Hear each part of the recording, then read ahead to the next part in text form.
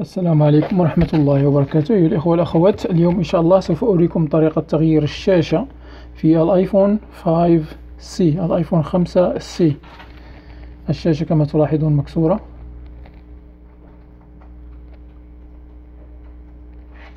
سوف نقوم بتغييرها بعجالة. فسوف نحتاج لهذه العملية سوف نحتاج هذه الأشياء. هذا يسمونه ال pentalobe screwdriver مفتاح البراغي. الخماسي آه، الرأس. لكن الرأس صغير جدا خماسي غير أنه صغير جدا. ثم نحتاج إلى ال Phillips screwdriver وهذا هو مفتاح البراغي ال Phillips علامة زائد.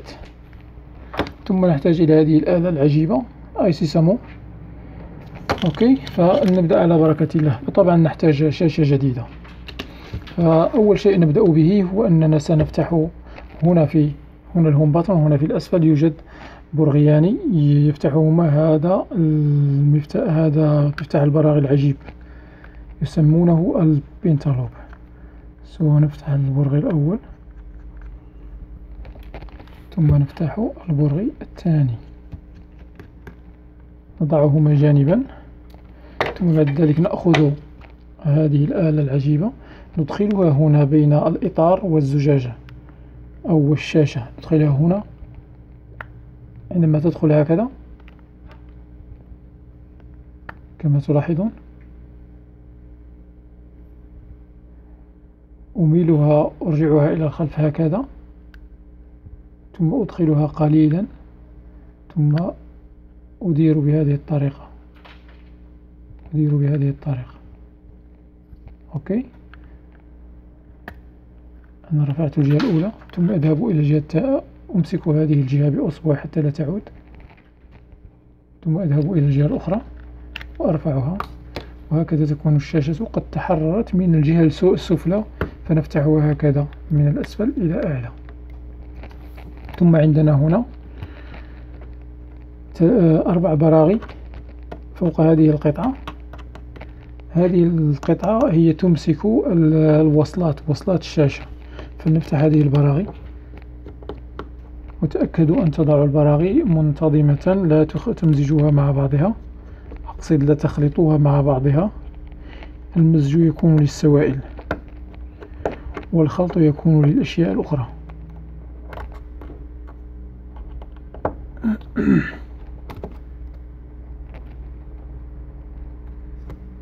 لاحظوا أن هذا هذا البرغي هنا هو غير ممغنط لذلك لا يلصق مثل مثل هذه البراغي الأخرى.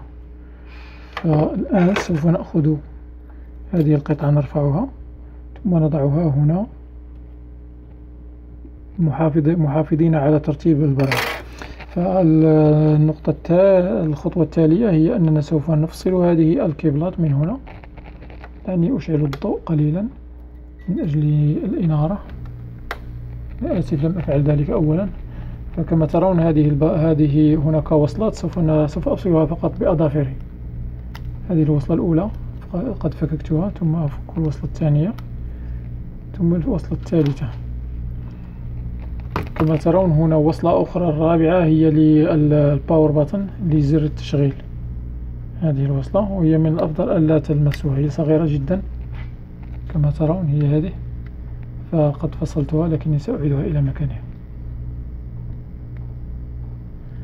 okay so الآن ماذا سنفعل؟ سوف نأخذ الشاشة الجديدة ونجربها أولا قبل أن نقوم بنقل جميع الأجزاء الأخرى المتبقية في الشاشة القديمة.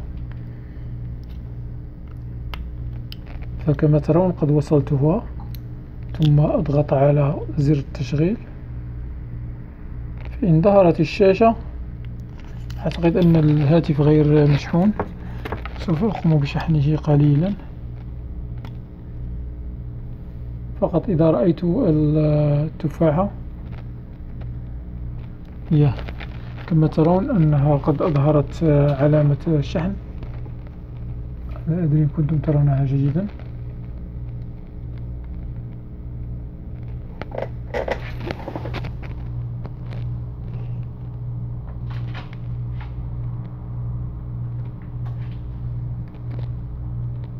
المهم أنا أرى علامة الشحن هنا. فمعناه أن الهاتف يشحن. لذلك لن أقوم بتضييع الوقت. سوف أنتقل لتغيير الأجزاء الأخرى بينما أترك الهاتف بهذا الشكل قيد الشحن. حتى إذا ما انتهيت من نقل الأجزاء من الشاشة القديمة إلى الشاشة الجديدة. الأجزاء التي سننقلها؟ سننقل هذا الهوم باتن وننقل هذه القطعة المعدنية. وننقل هنا السماعة وننقل الكاميرا الأمامية مع ال proximity sensor فلنبدأ بناء ال home button؟ ال home button عندها برغيان في الأسفل. هذان البرغيان يمسكان هذه القطعة المعدنية التي تمسك بدورها. ال button لكن هذه القطعة المعدنية هي عالقة أو لاصقة آه، بكيبل. فهذا الكيبل سوف نأخذ هذه الآلة العجيبة وندخلها تحت الكيبل كما ترون. برفق ثم نسحبها حتى نفك لأن الكيبل لاصق في في هذه الجهة. نحن قد فصلنا ال button. نضعها جانبا. ثم نأخذ أصبعنا من الأسفل من هنا وندفع هذه البطن إلى أعلى. نأخذها هكذا ثم نضعها في مكانها الذي يجب أن تكون فيه. نضعها م... نضعها متوازية. فلا تضعها لايك تأكدوا بأنها متوازية في مكانها. لأن هناك مربع إذا وضعتموها يعني بشكل غير صحيح سوف يبدو أن المربع هنا كأنه أعوج أو أحول أو شيء من ذلك. Alright so الآن سوف أضع البطن. هذه هي أصلا هذه هي البطن الأصلية. فأنا وضعتها كما ترون. ثم قمت بلصق الجهة التي تلصق في في البلاستيك. والآن سوف أضع البرغيان اللذان كانا يمسكانها. هذا هو البرغي الأول. وهذا هو البرغي الثاني. أنقل كل قطعة مباشرة بعدما أنزعها من مكانها الذي كانت فيه حتى لا يختلط علي الأمر. ليس علي بل عليكم. لأنني أنا قد تعودت على فعل هذا الأمر منذ سنين طويلة. فالآن أنا أقوم بنزع هذه هذه القطعة المعدنية. هي تشكل كدعامة للشاشة كما تشكل حاجز بين الشاشة والباقي الأجزاء الهاتف في الداخل. فسوف أقوم بفصل هذه بنزع البراغي البرغي الأول ثم هناك برغيان في الجانب. هذا هو البرغي في الجانب وهذا برغ آخر. البرغي كلمة البرغي كلمة عجيبة لكن لكنها مفهومة. أنا عندما أستعملها أشعر بأنني أستعمل كلمة غريبة. لأنني لم أعتدل لأنها غير متداولة خاصة بلغتي. نحن نقول لها الفيس. الفيس.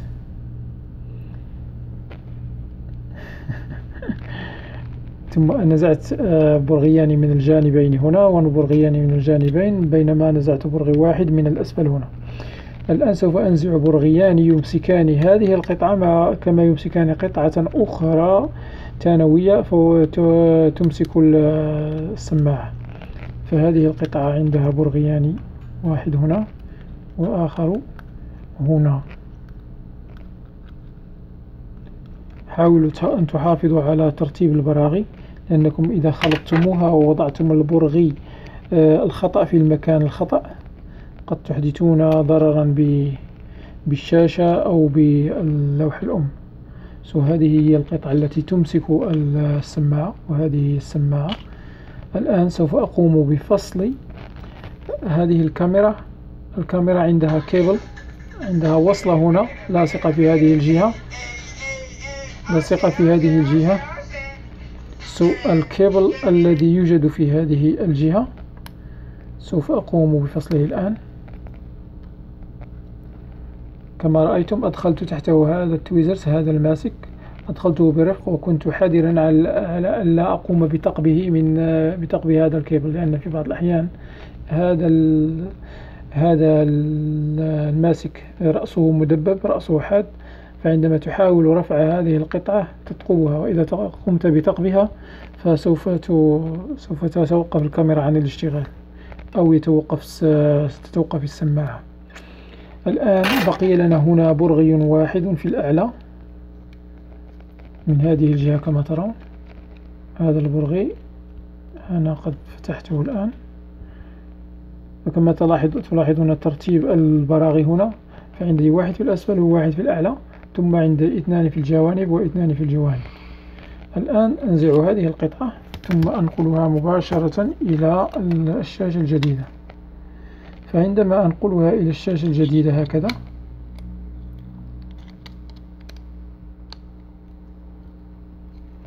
سوف أقوم بوضع البراغي التي كانت تمسكها. أبدأ بالبرغ الذي يوجد في الأسفل هنا. أنا قد وضعته. ثم أبدأ ب... ثم أكمل بالبرغ الأعلى الذي نزعته من هنا. هكذا حتى لا أخلط بين البراغي. إن البرغ إما أن يدخل في مكانه غير الصحيح ويحدث ضررا أو لا يدخل بالمرة. وسوف يسبب أنك قد تتلفه أو تتلف الأداة التي تستعملها لنزعه من مكانه. لقد ضيعته so هذا البرغي في الأعلى لقد ضاع مني. لا أريد أن أقوم بالبحث عنه. في هذه اللحظة على الأقل في هذه اللحظة بالذات. so الآن سوف أقوم بوضع براغي في الجانبية. هذه البراغي إذا ضاع واحد منها فإن الأمر ليس بتلك الأهمية التي تجعلك تبحث عنه حتى تجده. لأن لأن الوقت لن يتوقف بعدم وجوده. بعض البراغي مهمة. لكن بعضها هو فقط من أجل التثبيت. فإذا وضعته فهو أفضل أما إذا ضاع ولم أجد ف فلا داعي للقلق. الآن هنا آه، قطعتان بلاستيكيتان آه، بقيتا عالقتان في الشاشة القديمة سوف أنزعهما الآن. هذه القطعة هي قطعة الكاميرا. هذه تساعد الكاميرا على أن تظل يعني في آه، في مركزها. لأن عندنا هنا عدسة كما ترون وهذه القطعة هي تعمل على آه، ترك تعمل على جعل شاشة عدسة الكاميرا في المركز.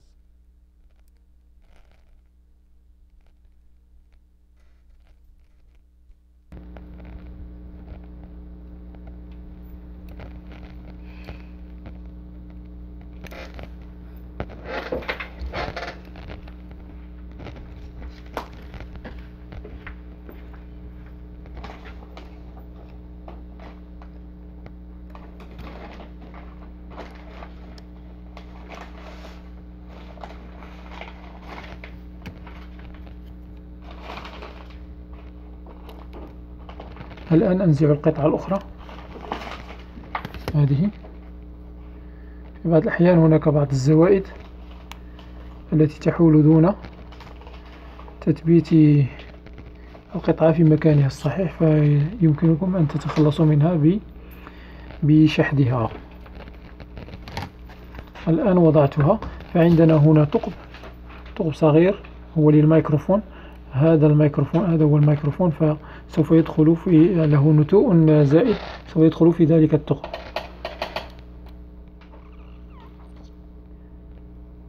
ثم بعدما تأكدت من أنه آه، قد تم تثبيته في مكانه سوف الآن أقلب الكاميرا على مكانها.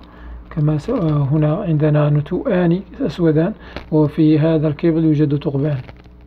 سواء النتوءان يدخلان في الثقبان هناك. وهكذا نكون قد ثبتنا الكاميرا. الخطوة التالية هي أننا سوف نضع هذا السماعة هنا. وفي السماعة يوجد ثقبان أيضا كما ترون. هذان الثقبان يدخلان في هذا في هذان النتوءان.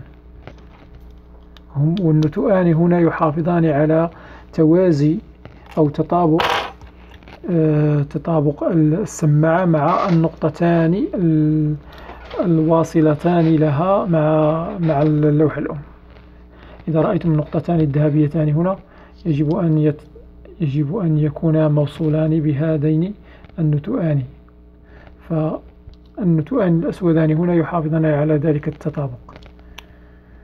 الآن هذه القطعة عندها نتوء هنا وعندها آه، خطاف هنا. خطاف لا أدري هذه الكلمة إن كانت صحيحة. ما علينا عندها هناك آه، كأنه ماسك. فنضع هذا هذا النتوء من هذه الجهة. يدخل تحت هناك مكان مخصص له. يدخل تحته هكذا ويعلق من التحت. ثم ثم يوضع فوق فوق السماعة. بينما الخطاف الذي لسنا متأكدين من أنه خطاف سوف سوف يمسك من هذه الجهة. وبعدما يمسك الخطاف من تلك الجهة سوف نأخذ السكرو البرغي ونضعه في مكانه. بينما أصبعنا ما زال يمسك آه، كل القطع حتى لا حتى لا تتحرك من مكانها. ثم عندنا هنا برغي طويل هو الذي يكون في المركز هنا. الآن سوف ألقي نظرة خفيفة على البرغي الذي سقط فإما أجده أو أدعه.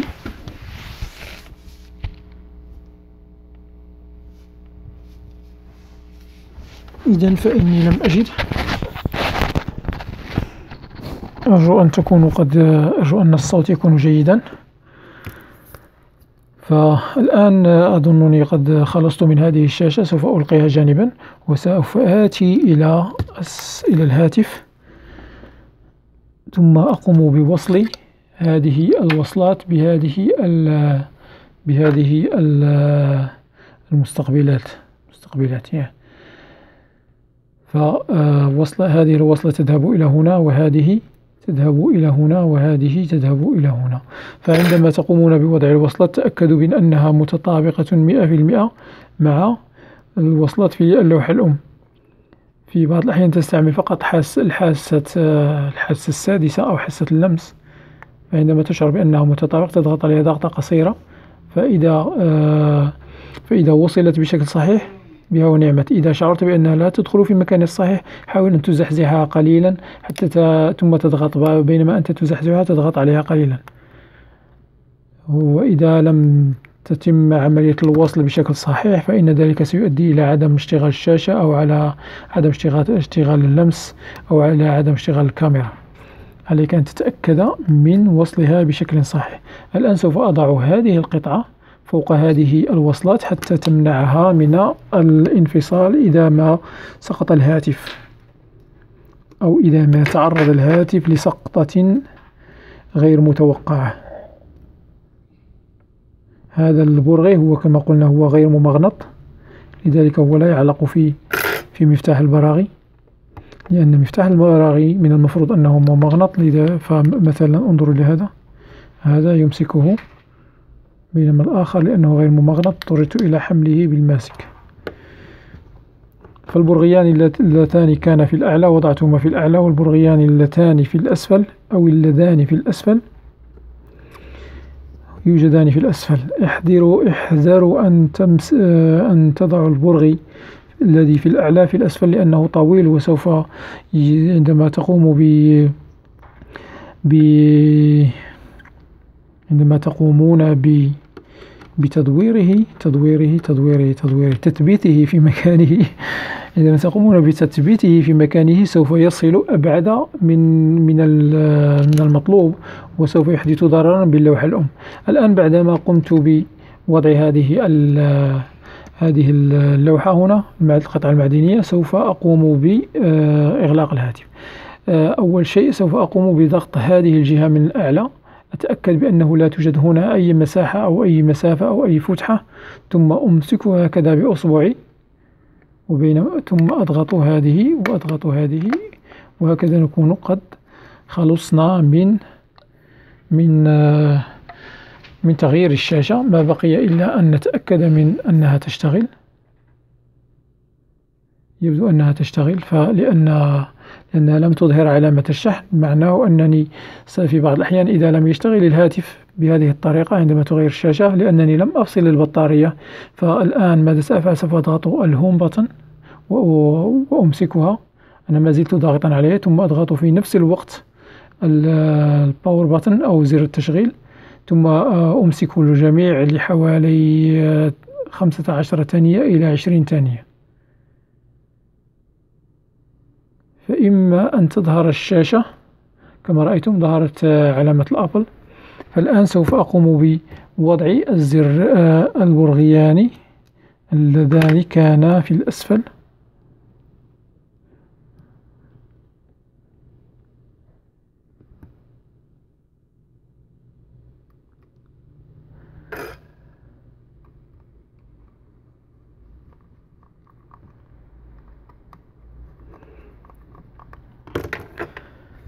ما زال الهاتف يشتغل. الآن قد نكون قد يمكن أن أقول أننا قد قمنا بتغيير الشاشة بشكل بشكل صحيح فما نقوم به الآن سوف نقوم فقط بتجريب الشاشة.